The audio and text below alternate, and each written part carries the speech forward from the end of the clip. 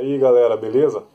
Queria falar um pouquinho hoje sobre o meu instrumento aqui, esse cavaquinho Luthier de Lima, que foi feito aqui em Curitiba.